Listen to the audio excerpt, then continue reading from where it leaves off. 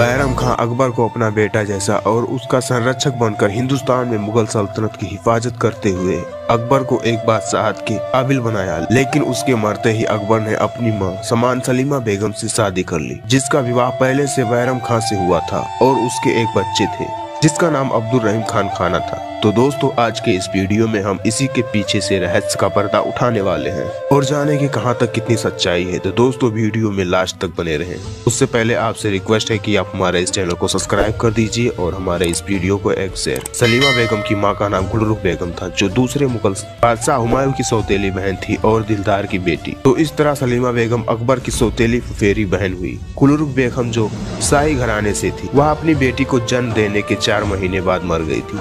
सलीमा बेगम का लालन पालन हुमायूं ने बहुत अच्छे से किया।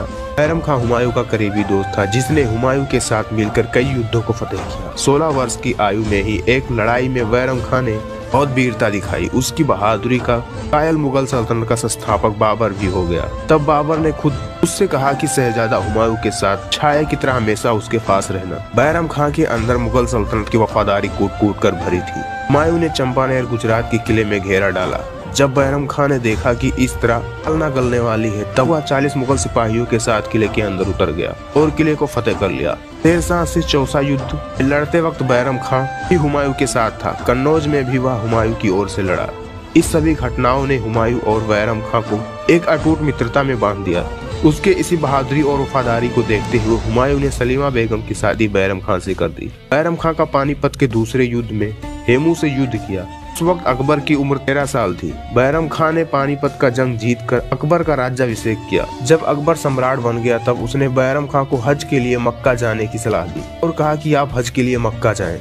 अकबर अब बड़ा हो गया था और बैरम खान अकबर के इसी काबिलियत को देखते हुए मक्का की तरफ़ अपना रुख किया। रास्ते में कुछ अफगान सिपाहियों ने बैरम खान को मार डाला। 1561 में बैरम खान की हत्या के बाद सलीमा बेगम और अब्दुल रहीम को बादशाह अकबर ने अपने पास बुला लिया और सलीमा बेगम से विवाह कर उसे मुगल महारानी का अहदा दिया और सलीमा बेगम और अब्दुल रहीम का दायित्व अपने सर ले लिया। जब अकबर की सलीमा बेगम से शादी हुई थी, उस वक्त सलीमा बेगम अकबर से 10 वर्ष की बड़ी थी। दोस्तों, उम्मीद करता हूँ यह जानकारी आपको पसंद आई होगी। इसी तरह की ऐतिहासिक वीडियो पाने के लिए हमारे इस चैनल को सब्सक्राइब कर दीजिएगा और वीडियो को एक शेयर। मिलते हैं नेक्स्ट वीडियो में।